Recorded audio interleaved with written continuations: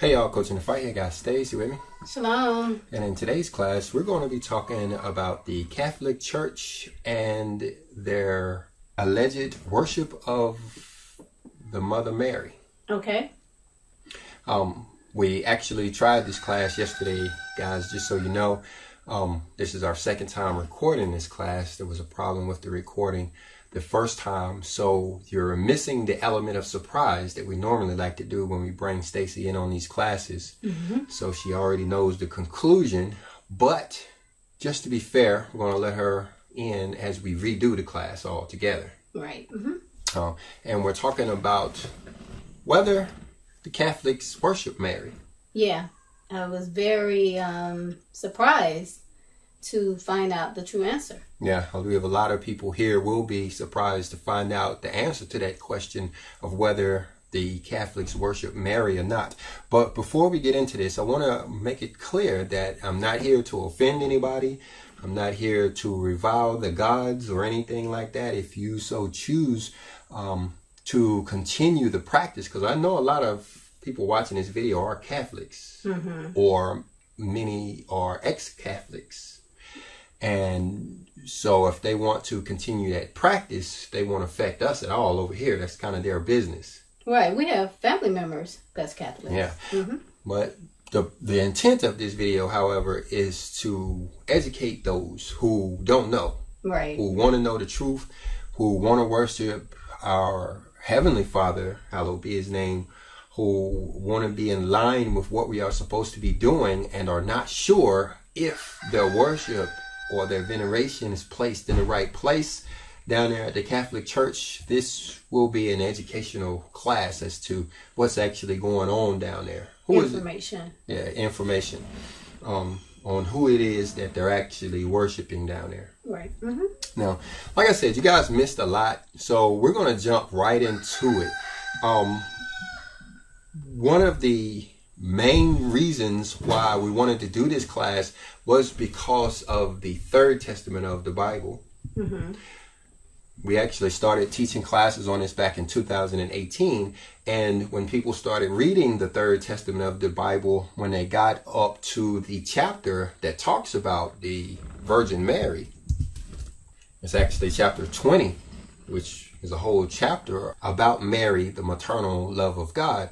A lot of people made the association that because this book talks about our universal mother, that it must have been written by the Catholics. Yeah. You received a lot of comments that I read um, for myself that they were, I think, accusing you of picking up a doctrine that um, belonged to the Catholics. Yeah, Catholic doctrine, and like I said, they, because they read chapter 20, which talks about Mary, and said, okay, well, the Catholics worship Mary, and this book has a whole chapter on Mary, then this must be a Catholic doctrine. Mm-hmm. Okay, but we're going to find out that that's not actually the case.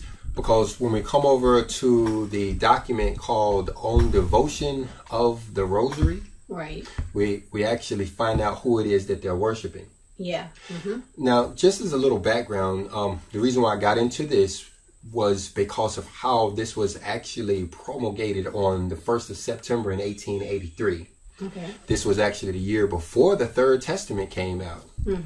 The Third Testament came out in 1884, and there was a great announcement of this Third Testament of the Bible, which we know now as the second coming of the Messiah, the Word made flesh, except for now it is actually only the Word. There is no flesh associated with it.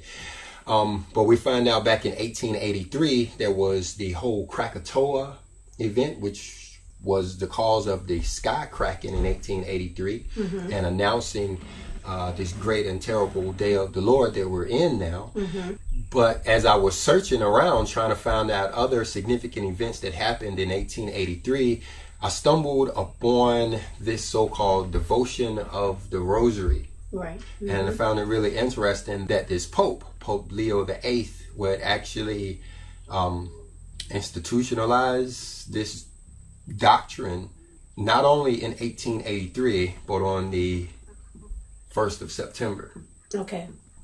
But anyway, let's skim down through here and let's pull out some fun facts from this so-called own devotion of the Rosary.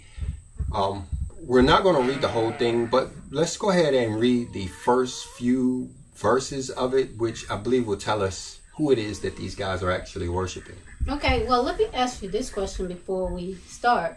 At this time in 1883, could we say that the Catholics were the predominant religion of the world, or were they were they not? I mean, was did this Pope when he wrote this doctrine out? Did he um, was it for most people, or was it only for a set of people? Well, it's for the Christians. We're going to find out that this document addresses the Christians. Mm-hmm. It calls the Catholic Church the Universal Church, which encompasses both the Catholics and the Protestants. Right. And just like now, the Catholic doctrine or Catholicism is dominant around the world. Right. Mm. It is um, more Catholics now around the world. Um, I believe. Let's see. So, like now, the Catholics are dominant. It's Right. the dominant religion of the world right now. Right. So, this would have been addressed to the majority of the religious world. Right. hmm So, anyway, let's go ahead and just read um, a few of these verses. Okay. The supreme apostolic office, which we discharge in the exceedingly difficult conditions of these times, daily warn and almost compel us to watch carefully over the integrity of the church. The more that the calamities from which she suffers are greater, while therefore we endeavor in every way to preserve the rights of the church and to obviate or repel present or continued dangers, we constantly seek for help from heaven, the sole means of effecting anything, that our labors and our care may obtain their wished for object. Okay. So, this is kind of a prayer. Right. Okay, and I think a lot of people think of that when they hear the word rosary, they think of the prayer mm-hmm. of the rosary. Mm-hmm. Well, like we said, we want to educate people so even the people with these beads may not be familiar with where that all came from. Mm-hmm. And so that's what this document is all about. So let's continue.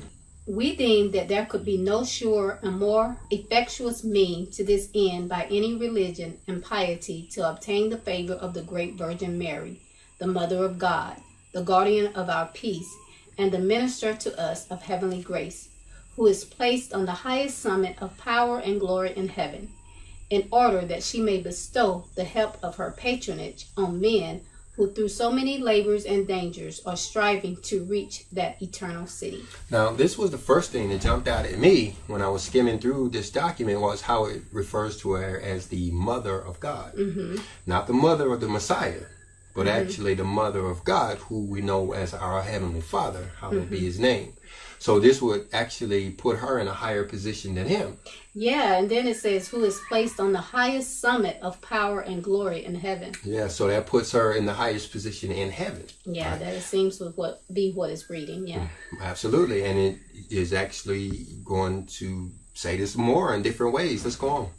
Now that the anniversary, therefore, of manifold and exceedingly great favors obtained by a Christian people through the devotion of the Rosary is at hand, we desire that the same devotion should be offered by the whole Catholic world with the greatest earnestness to the Blessed Virgin, that by her intercession her divine Son may be appeased and softened to the evils which afflict us. Right. So this is kind of strange here. Mm-hmm. How these this document is asking the Catholic Church or the Universal Church or the Christian world to actually pray with the highest veneration to the Virgin Mary, asking her to tell her son, who we know as our Messiah, to let up off of us a little bit. What does it say? Yeah, so that her divine son may be appeased and softened in Mm-hmm. the evils which affect us. So this is saying, first of all, that the evils that affect us are generated from the Messiah. Mm-hmm. And we ought to pray to this Virgin Mary to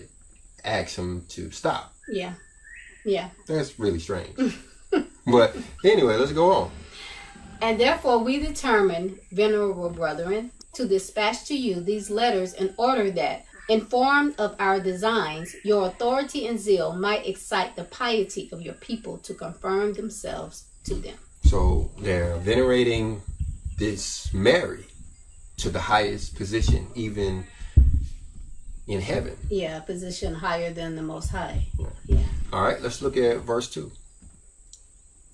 It has always been the habit of Catholics in danger and in troublous times to fly for refuge to Mary and to seek for peace in her maternal goodness, showing that the Catholic Church has always and with justice put all her hope and trust in the Mother of God. Okay, Wow. again, it's talking about this Mother of God, but notice how it's saying that, that this Catholic Church has put all hmm of their hope in the Mother of God, this Mother of God. Yeah, you know, we read this yesterday, and I don't know if I saw all of this, but Yeah, yeah, yeah. they're saying that who who we always have put all of our hope, not some of our hope or portion, but all of our hope in someone other than the Most High. Yeah, and notice that part right there where it says always, hmm right? So we recognize that the Virgin Mary came into existence around the same time as our Messiah here in the flesh. hmm So how it is that they always worship this Virgin Mary even before the Messiah was born, well, I guess we'll find out when we get into the scripture Right. Yeah. hmm and see where all of this is coming from. Anyway, let's go ahead. And truly, the Immaculate Virgin, chosen to be the Mother of God, and thereby associated with Him in the work of man's salvation, has a favor and power with her Son greater than any human or angelic creature has ever obtained or ever can gain. How, now, how do they get this when the one reference that we have in the Bible, when the interaction between Mary and her son was when you know they lost him in the mm-hmm. temple at 12 years old, and when they found him and seemingly ready to chastise him, the Messiah put Mary in her place and said he was out handling his father's business. But according to this document, it seems as if they're they have equal power Yeah, equal, equal, power. favor. Right. So they are again venerating her above our Messiah. hmm Okay. Well, let's go on. And as it is her greatest pleasure to grant her help and comfort to those who seek her, it cannot be doubted that she would deign and even be anxious to receive the aspirations of the universal church. Now, we reference the third testament of the Bible. And in the third testament of the Bible, what we found is that just as the Messiah was the incarnate of the Word, in other words, he was the Word made flesh, mm-hmm. we find out that his mother, Mary, was the incarnation of the Holy Spirit. Right. So, this universal mother, who we recognize as Mary, does deserve our veneration. Right. But again, the question is, is that who the Catholic Church is talking about? Right. Is is the same one we call the Mother Mary? Is this who they are referring to as this Mother of God? Is this the same being? Right. hmm All right, so let's go on to three. This devotion, so great and so confident, to the august Queen of Heaven, has never shone forth with such brilliancy as when the militant Church of God has seemed to be endangered by the violence of heresy spread abroad, or by an intolerable moral corruption, or by the attacks of powerful enemies. Now, when I first read this or first listened to it, it was a YouTube uh, video that that reads this. Um, I stopped here because I seem to remember this Queen of Heaven, and that didn't ring out as our Mother Mary to me. hmm So I went in and did a Bible search for the Queen of Heaven, and what we find is over in the book of Jeremiah is mentioned five times, but not in a good light. Right. Matter of fact, go ahead and read Jeremiah chapter seven, verse eighteen. Okay. The children gather wood, and the fathers kindle the fire, and the woman knead their dough to make cakes to the Queen of Heaven, and to pour out drink offerings unto other gods, that they may provoke me to anger. So here is our first significant hint that this is not actually our mother Mary. This is not actually the mother of the Messiah that they're actually worshiping, that they're calling the Queen of Heaven or that they're calling the Mother of God. This is actually a whole nother God. This is another deity that they're actually worshiping here. Right, because for one, it's found in the book of Jeremiah, and that is an Old Testament book. Yeah, and this kind of goes back to, you know, what it said at first is how they always Right. mhm. have gone to the Queen of Heaven or gone to the Mother of God even before the Messiah existed. Well, we see here that Jeremiah was talking about it way back then, how these who we now know as Catholics were worshiping the Queen of Heaven even back then mm-hmm. as they were worshiping the other gods, mm-hmm. making sacrifices to these other gods. Right. So that's definitely not our universal mother. Right. It's not the, the Holy Spirit. Right. It's not the mother of our Messiah. This is a, a whole, pagan God. Yeah, it's a whole another deity that is definitely they're using the sacrifices and offerings that they have um, to give to her to anger the Most High. Absolutely. So then I came in and started trying to find out, okay, who is this Queen of Heaven? Mm. And one of the first things that popped up is the Queen of the Olympian gods. Of course, okay. we can't pronounce these names, but we see here this is actually who they're talking about. This is found in the ancient Greek religion. This is the sister wife mm-hmm. of their highest god. As far mm-hmm. as their Greek gods are concerned, their mm-hmm. highest god, this is their sister wife. Mm-hmm. So then I came in understanding how they do this. You know, when it comes to the Greek gods, they really are into idol worship. And the name of these gods really doesn't matter. They can give them any name they want as long as you bow down to that idol. Mm-hmm. They'll give them the name of the Messiah. They'll give them the name of Mary. They'll give them the name of Peter or Moses or anybody. They got statues of everything down there. Mm-hmm. And all they do is put a name on them that the Christian world can relate to and the other religions can relate to in hopes of getting them to actually bow down to these idols. Right. Like I said, or, or like you said um, a few minutes ago, offending mm-hmm. the one true God, the mm-hmm. Most High. Mm-hmm. mm-hmm. So we look and we see if there's actually an association with this Greek God, the mother of the Olympian gods, and who the Catholics are worshiping, calling the Mother Mary. We look and see, okay, what are the distinguishing features of this particular God? And what we find out is that she wears a crown and or a veil which hangs down the back of her neck. Always. Always. Mm-hmm. This this is how you recognize these gods. So when it comes to this particular goddess, which which says here is the goddess of marriage, goddess of sky, is the queen of gods. You see there. You'll see that she has a crown or a diadem. She has a veil and to show that she is the queen of their most high God, mm-hmm. she has a scepter. Yeah, I think one of the things that stands out where it says that um, her veil frequently hangs down the back of her head to characterize herself as the bride of this God. Um, and you know, even if you can't see the face, if you would just see that figure of that veil in the back, you, your mind automatically flips to this is uh, a picture of the Mar- the Virgin Mary. Absolutely. Yeah. Matter of fact, here's a picture over here, and you can see that there's the scepter, there's the crown, there is the veil down the back there. This is actually who the Catholics are worshiping, the Queen of Heaven, mm-hmm. the mm-hmm. the sister wife of their pagan gods here. So the answer to the question is they're not worshiping Mary at all people, you know, should understand that there is no association with the Third Testament or the Universal Mother at all because the Catholic Church, at least those who are actively doing this, are bowing down to an idol of this particular Greek god here. Yeah, and you know, it makes me wonder do um, Catholics know this? because you know it says in Jeremiah the queen of heaven but then we read here on Google that it is the queen of heaven is a name that the Catholics give to the Virgin Mary. Well, why would they do that if there's going to be controversy? Um, you know, it makes me also think about how they put things plainly in our sight and we choose to ignore them because we want to always see the good side of it.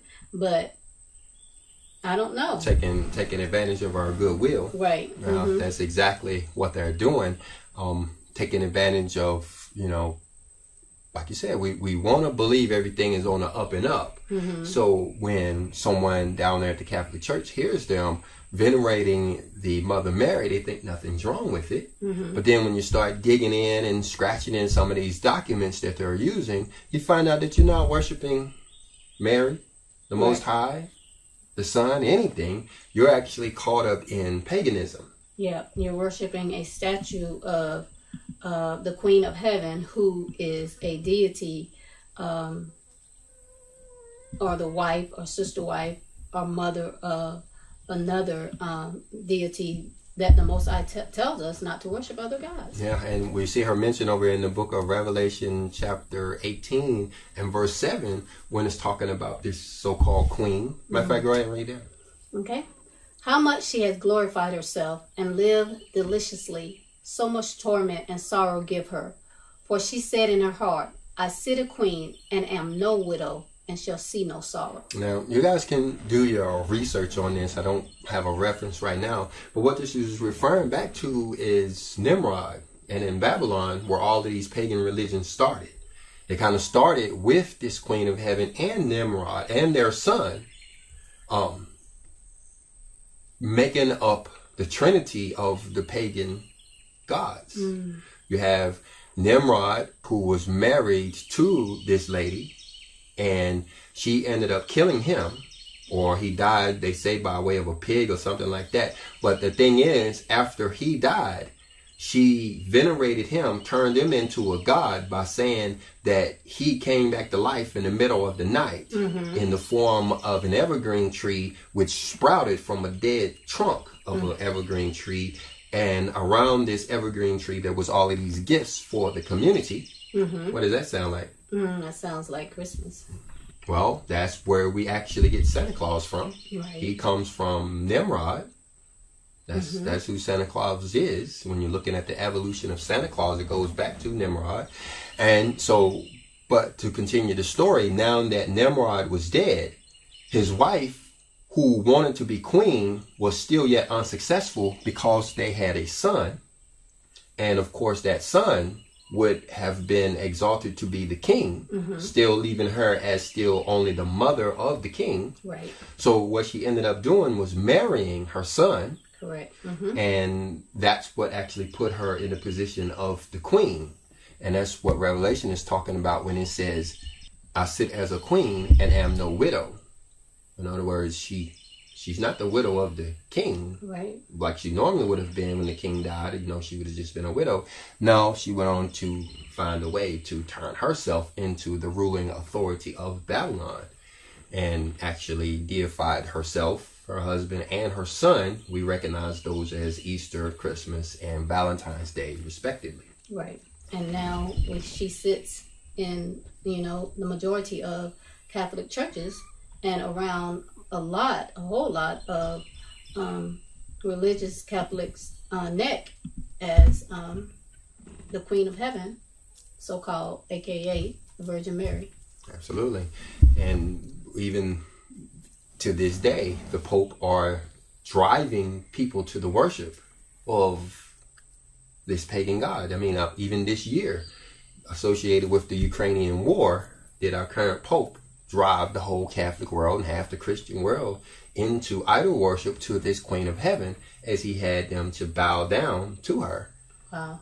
I didn't, I didn't see that. I heard you mention it, but I did not see it. He Yeah. absolutely went in and had the whole Catholic world to bow down to this Queen of Heaven in hopes, like he said in this document, that she would cause her son to raise some of the uh, uh, calamities that were going on over there in the Russian Ukrainian war. That's good because what's actually happening is the same thing that was happening back in the book of Jeremiah, where they're actually bowing down to this Queen of Heaven and um, hoping to get results by way of her instead of um, by way of the Most High. Absolutely. So the Catholic Church is not worshiping Mary. They're actually exalting this pagan god, which is actually going to cause the world to tilt towards paganism a little more, just a little more.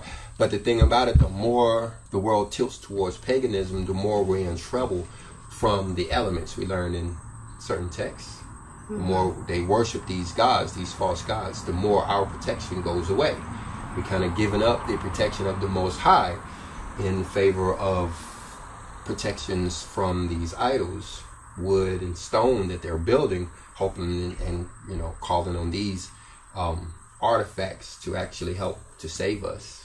Well, well, that answer, answers a lot of questions for me because I always wonder why would they worship, you know, any figure or anybody else other than the Most High, even you know bowing down to this uh, figure of what they call, you know, the Christ. Um, is actually the same thing. it's the same thing. They have that certain figure which they wanted to worship anyway. The long flowing hair, Right. um, would be one of the characteristics, you know, distinguishing features of that particular God. And all they did to do, to worship him, to venerate him, was to give him the name of the Messiah. And now half the Catholic or half the Christian world, well, I'm going to say all of the Catholic and half the Christian world now has a picture of this pagan god on their wall. And if you go in there and you say, well, where's the Messiah? Instead of them pointing to their heart or even pointing to the scripture or even, you know, pointing to, you know, nature and says he's in everything, they actually point to a picture on the wall and say, there he is. Well, you say half. I would say probably ninety percent. That's because you're from the Bible Belt. Yeah, my, my family has plenty of them scattered around their homes. My family used to, and then I took them down. But anyway, so to answer the question, are the Catholics worshiping Mary? The answer is no, they're not. They're not worshiping Mary at all. This is just another one of their pagan gods that they just give the name Mary and causing the world to tilt towards paganism. So when they you ask them why are y'all worshiping Mary, and they say we're not worshiping Mary, you say okay, you're Mm. right, they're not. they're actually not worshiping Mary.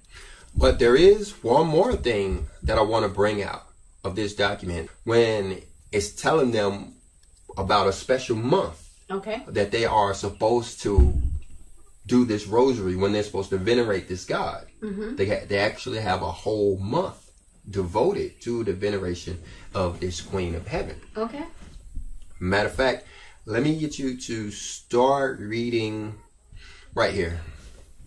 Not only do we earnestly exhort all Christians to give themselves to the recital of the pious devotion to the rosary publicly or privately in their own house and family, and that unceasingly, but we also desire that the whole of the month of October in this year should be concentrated to the Holy Queen of the Rosary. So this month of October is the month that they actually celebrate this Queen of Heaven. Wow. And you're wondering what's the significance of the month of October? Mm-hmm.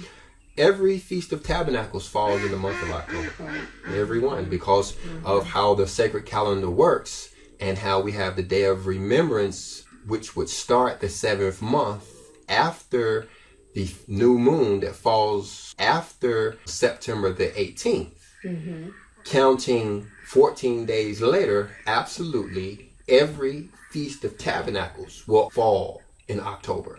So while we're supposed to be celebrating the High Holy Day, we are actually praying to a false god. Yeah. So yeah, while we're doing that over here, while we're in our tents and being obedient to the word, yeah, this is the month in which they decided that they're going to recite the rosary to the Queen of Heaven. But that shouldn't be surprising considering how they did the exact same thing for Passover, Right. causing the feast of their pagan feast of Easter Mm-hmm. to fall almost every year. It doesn't not not quite so accurately as far as Easter is concerned. They they actually miss a year every so often, but ninety percent of the time you're going to have their pagan holiday of Easter to fall smack dab in the middle of the high holy feast of unleavened bread. So this is what they're doing. They're stamping out the holy days and replacing them with their pagan worship. Right. Mm-hmm. Mm-hmm. Absolutely. But again, we're not here to pick on anybody. If that's your faith, is that what you choose to do? So be it, you know. But, you know, we really want to educate people. Let them know, you know, this is actually what's going on here. Um, And for those who find themselves in a situation, go read Revelations chapter 18 um, and the rest of the book, which tells us, you know, to come out of this religion, to come out of that religion, to leave that religion, to walk away from it. Else, they're going to receive those same plagues that are to fall upon that religion.